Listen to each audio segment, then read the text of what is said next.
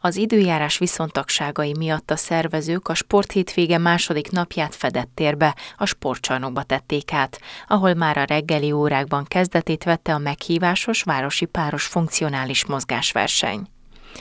Vári Judit, a Tier Gym edzője megosztotta stábunkkal, hogy milyen izmokat mozgat meg ez a mozgásforma, és miért jobb párban edzeni funkcionális edzés minden izmot megdolgoztat. Van benne elég sok aerob rész is, ugye van benne evezés, futás, mint hogy az első futamban láthattuk, viszont van benne súlyemelés is, tehát úgy van összeválogatva. Atlétika elemeket a helyadottságai miatt ugye nem tartalmaz, tehát húzóckodni nem tudunk, kötélmászni nem tudunk.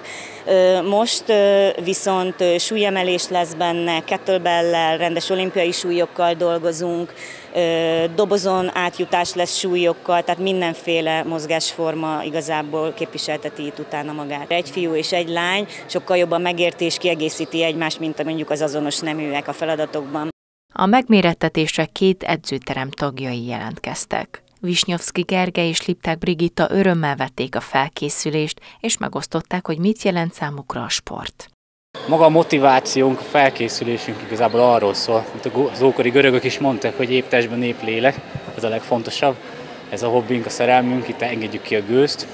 Második legfontosabb motivációnk, illetve ami a felkészítésre ad okot, hogy családosak vagyunk, itt vannak a gyerekeink, itt vannak a családjaink, és szeretnénk példát mutatni a, a helytállásunkkal is, hogy bizony apa, anya elfárad, de ez a követendő út. Talában, amikor itthon van a párom, nem dolgozik, akkor ez lehet délelőtt is, de délután is, tehát minimum heti háromszor le kell menni, és egy kicsit tenni kell magunkért szerintem, hogy valaki jól érezze magát a bőrében.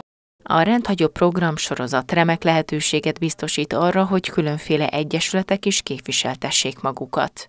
Ilyen volt többek között a Marosmenti Ijászok Sportegyesület is. Püspöki Zoltán elnök megosztotta, hogy remek lehetőséget biztosít a rendezvény arra, hogy egyre többen megismerjék közelebbről az íjászatot. Meg tudjuk nekik mutatni az összes fajta íjunkat, ki is lehet próbálni őket persze.